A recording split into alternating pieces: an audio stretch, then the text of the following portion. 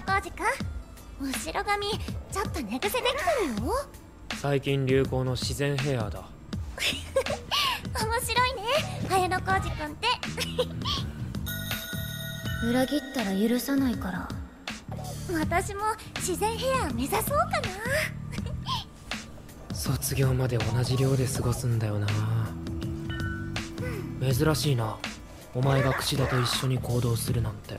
部屋の前で待たれてたのよせ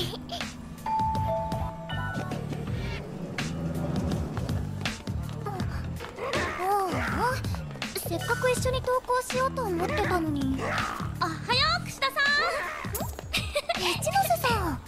あもしかして串田さん。の彼氏それはないよ完全に本音だろうなないないそういえば今日ポイントって振り込まれてた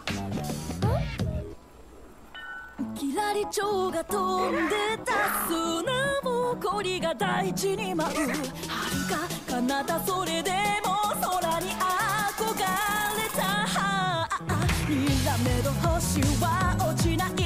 どうやって捕まえよう。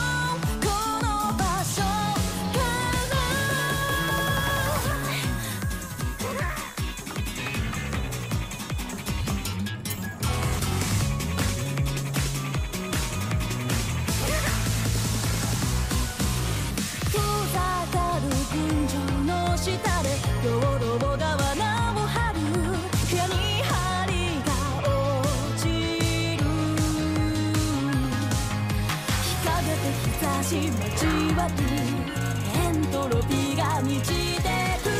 制限的自由の中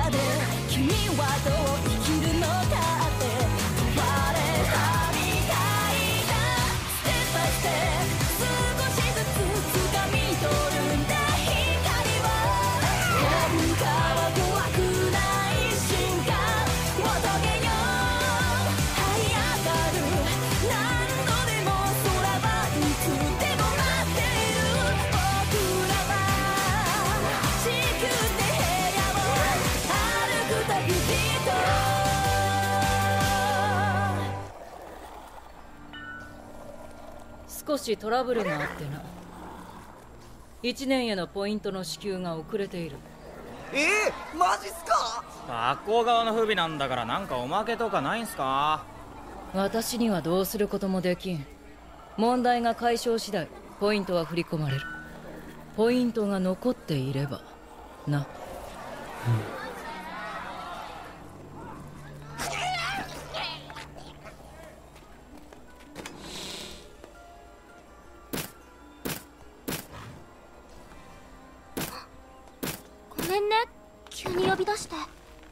何の用だ？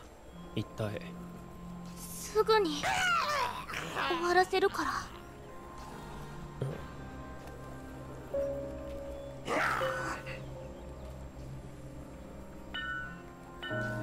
告白されるみたいなの。ここ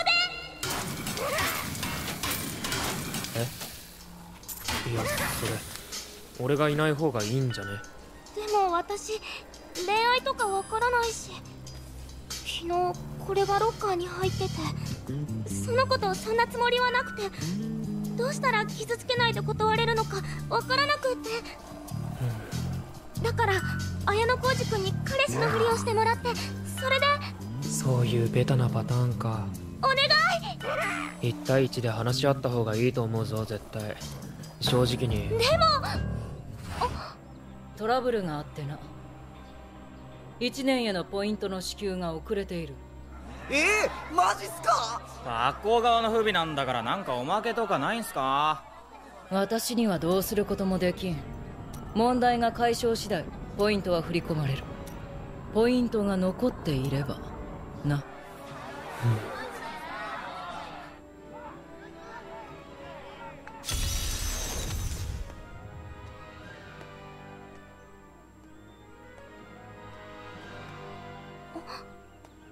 めんね。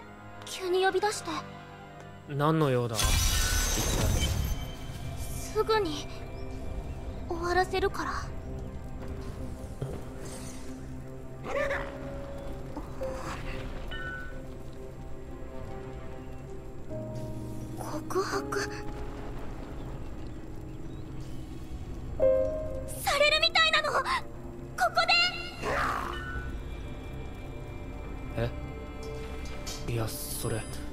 俺がいない方がいいんじゃね？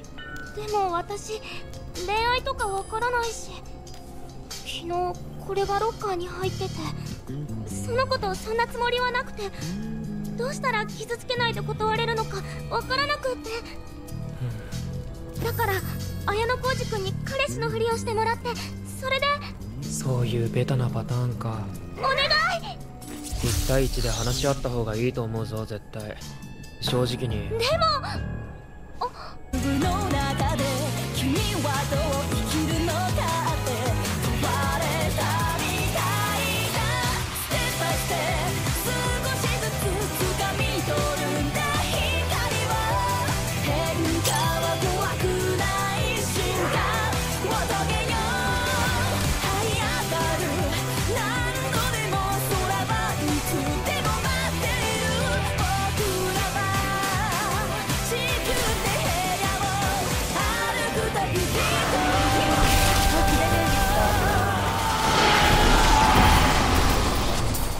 しトラブルが実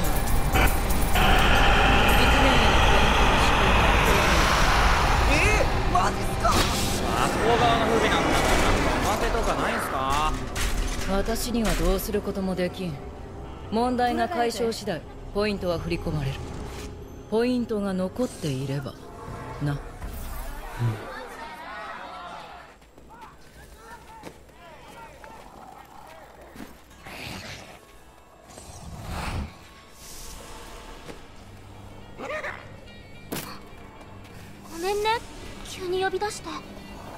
何の用だ？すぐに終わらせるから。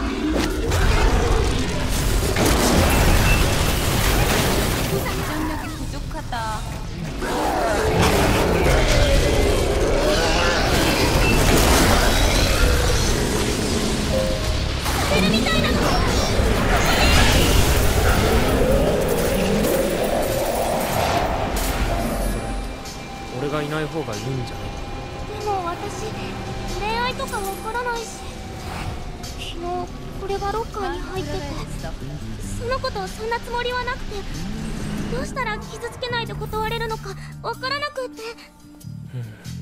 だから綾小路君に彼氏のふりをしてもらってそれで。そういうベタなパターンか。お願い！1対1で話し合った方がいいと思うぞ絶対。正直に。でも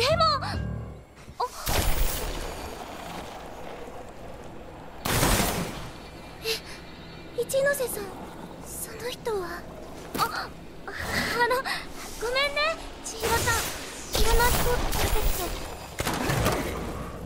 の人は B クラスの綾小路君で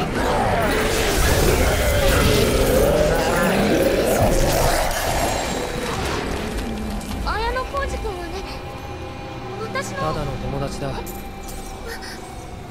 一ノ瀬誰かに告白するってそんな生優しいものじゃないだろ毎日のように悶々とした時間を過ごしてそれでもできなくて。喉元まで出かかった好きの言葉はなかなか出てこなくて。お前はその子の必死な思いに応えないといけないんじゃないのか？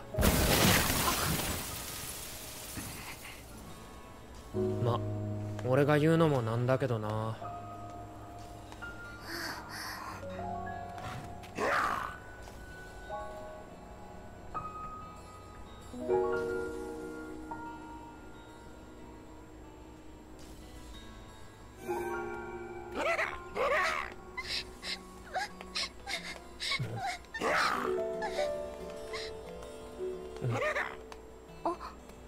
話終わったみたいだな。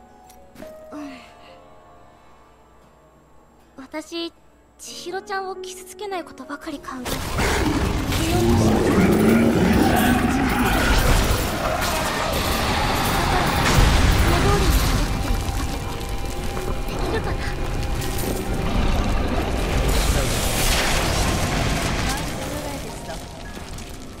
今日はごめんね。変なことに付き合わせちゃって。いいさ。たまにはこんな日があっても。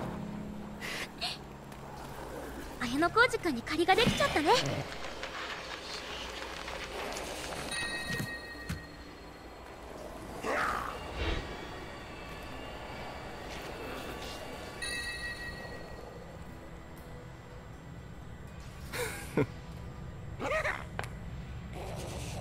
面白い。時代だなごめんね。変なことに付き合わせちゃって。いいさ。たまにはこんな日があっても。綾小路君に借りができちゃったね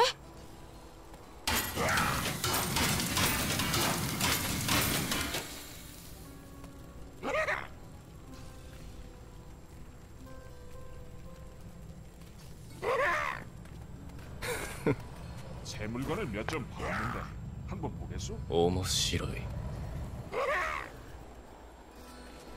だから違うっつってんだろ！相手3人がかりだぞ！でもさねなんだ？え綾小路君大変なことになっちゃったかも。C クラスのバスケ部員が学校側に対し須藤を訴え出た。部活終了後須藤から一方的な暴行を受け負傷したとな正当防衛だ。正当防衛。レギュラーになった俺のこと妬んであいつらが喧嘩ふっかけてきたんだって。だが証拠はない。目撃者でもいれば話は違うがな。みんな須藤君たちの喧嘩を見かけたり何か知ってる人はいないかな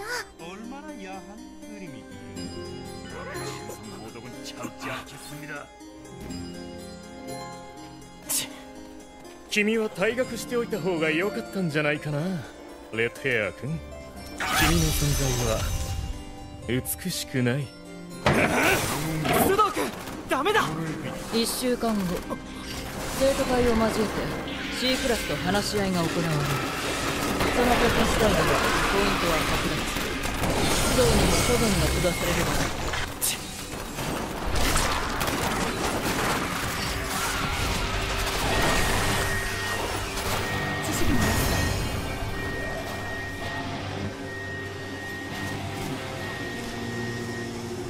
クラスのサルドも騒ぐだろうな。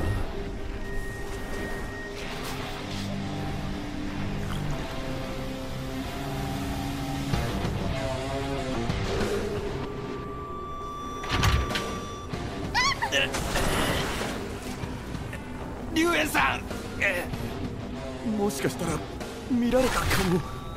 須藤と喧嘩してた時近くで人の気配が。Bad boy.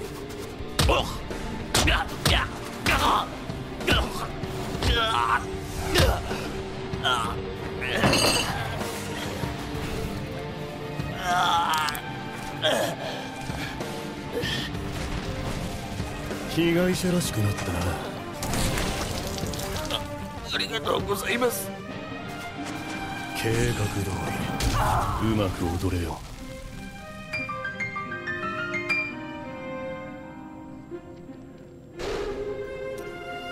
のせいでさ。最悪じゃね？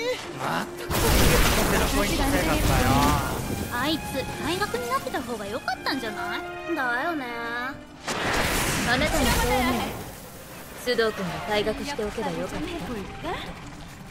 俺は別にお前こそどうなんだよ。手を貸して今の私たちはゼロポイント。仮に退学者が出て減点になってもこれ以上取りようああそうかな何？気に障る言い方ね見えてない加点や本当がないとは言えないから表示されてないだけで本当はマイナスポイントが増えるかもしれない大学者を出した場合の減点は今じゃなく将来に行われるかもしれない。A クラスに上がるための条件に退学者がいないとかなんてものがある気がする。へね俺たちは学校のシステムを分かってないんだ。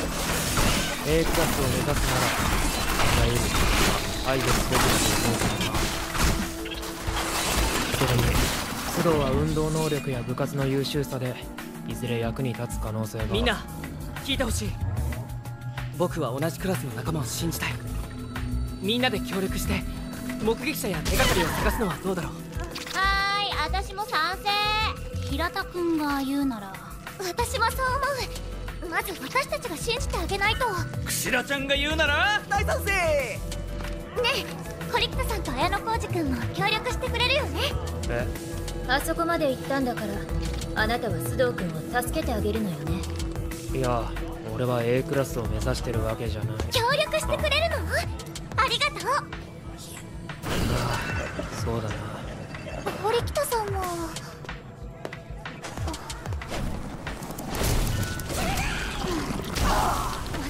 で頑張ろう。でも目撃者探し須藤君自身は関わらない方がいいよね。そうだな。当事者が動くと良くないだろだよね。うん。須藤君には私からそう伝えとく。それじゃあ放課後にね。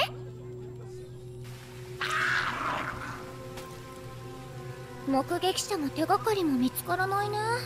つかさ須藤が嘘言ってる可能性だってあるくねだよな。平田たちの方は？連絡してみたけど収穫はなしみたい。はーい綾野コーチくん串田さん。一ノ瀬さん？うちのクラスの人から聞いたんだけど何か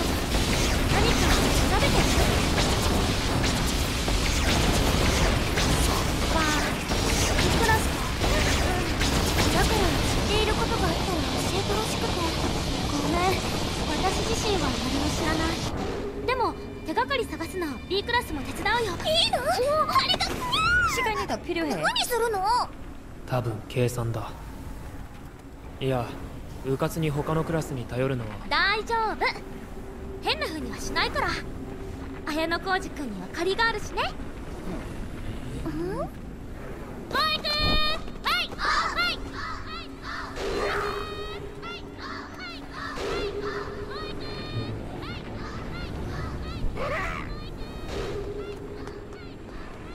綾野浩二君おうこの告知うん神崎君のアイデアでね学校の電子掲示板で情報を募ってあ早速メール来てる。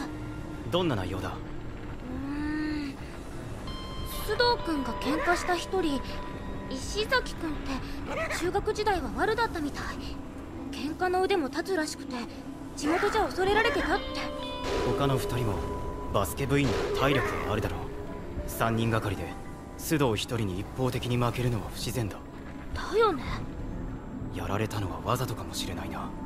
3人が須藤を罠にはめるために動いたと考えれば話がつながる。私もそう思う。とりあえず情報くれた子にはあ匿名か。どうやってポイントを送ればいいんだろう。それなら知ってるぞ。当たったら教えて。無防備だな。学生証借りるぞ。いいよよ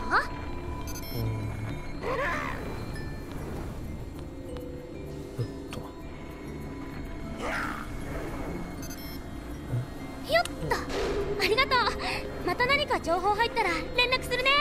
ああ。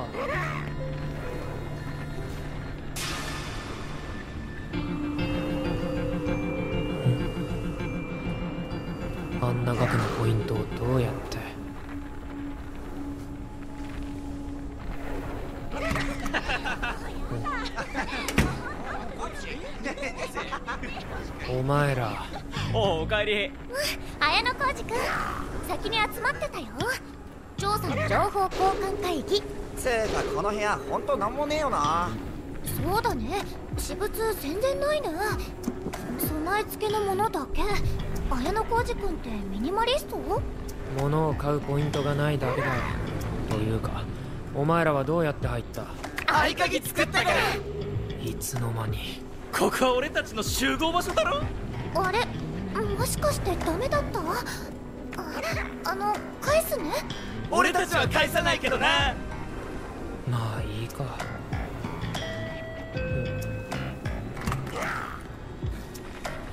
堀北目撃者のことで。帰るわ。あ堀北さ。ん来てくれたんだ。あ情報共有はした方がいいと思うぞ。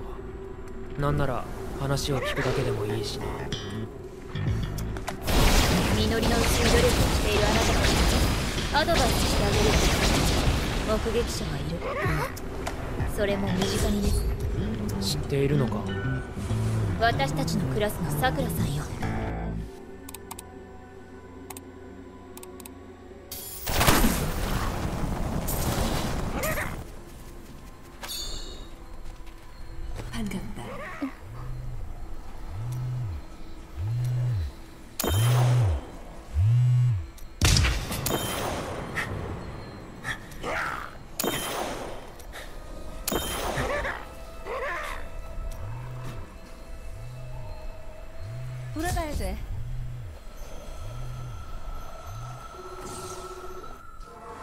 なんでさくらが目撃者だって思った？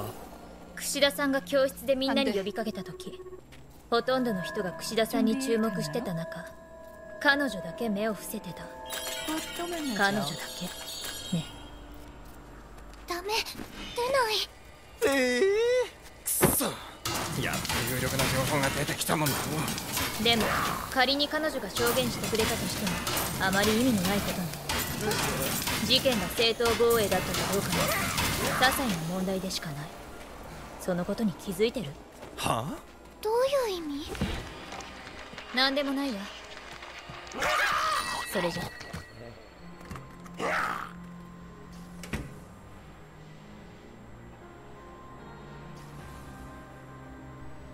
さくらか。どんな生徒だったか全く記憶にない。なか해졌어 どうしても気になることがあって綾野浩二君なら堀北さんの言っていたことの意味わかるかもって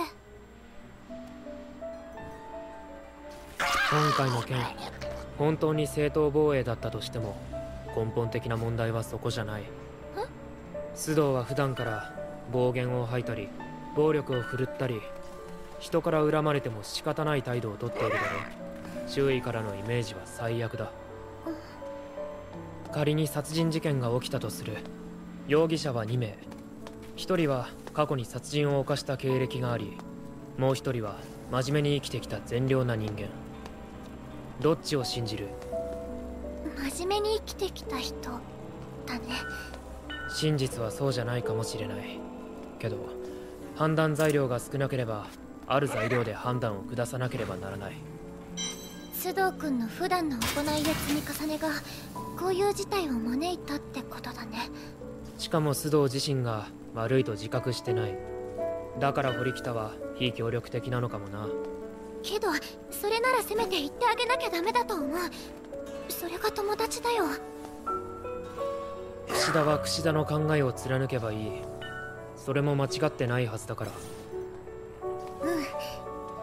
うん。でもやっぱ綾野浩二君は堀北さんのこと何でも分かっちゃうんだねそんなことはないと思うぞ。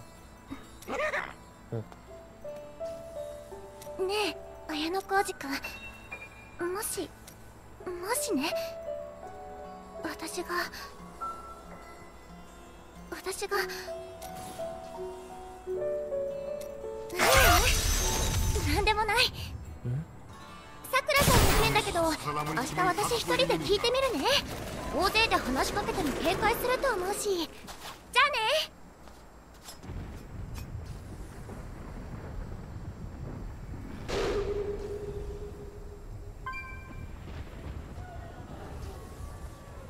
さくらさんな何？さくらさんに聞きたいことがあるんだけど。いいかな？須藤君の件で。ごごめんなさい私。この後予定あるから。あ時間は取らせないよ。大切なこと。し知らないです。何も知ら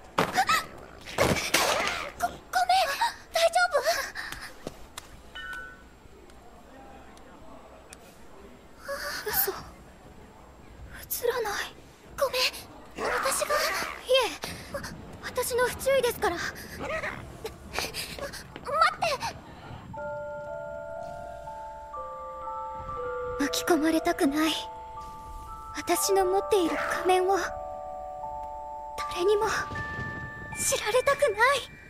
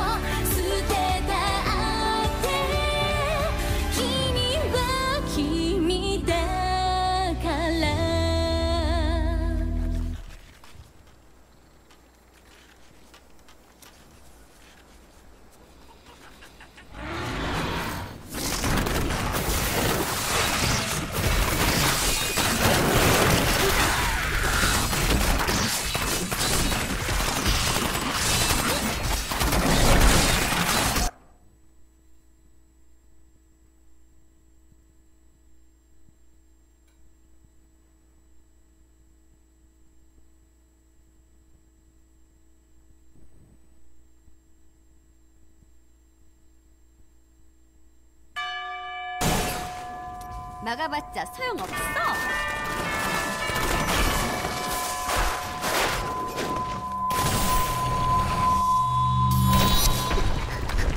待って文化人類学者エドワード・ホールはパーソナルスペースを4つに分類したその一つに密接距離近接層と呼ばれるゾーンがある 相手を抱きしめられるほどの距離を人は拒絶する。いやあれは硬すぎるでしょだが例外も存在する。例えば櫛田。接近しても他者にパーソナルスペースを活動させない。それでもさくらは拒絶した。心を通わせることを恐れているだから。目を伏せる。キラリ蝶が飛んでた砂ぼこりが大地に舞う。遥か彼方それでも空に憧れた。にらめど星は落ちない。どうやって捕まえよう。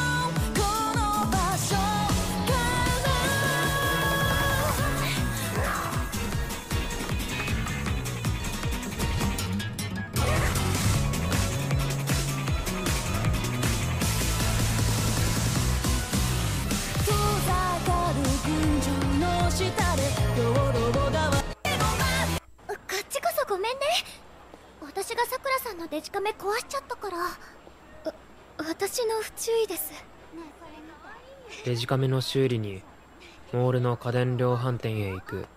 それはわかるが俺必要か？実は。ああこれは。ダメだな。ああそうか。電源系だこれは。うん。ダメだな。うん、うん、ももう少々。少々って持ってきてる？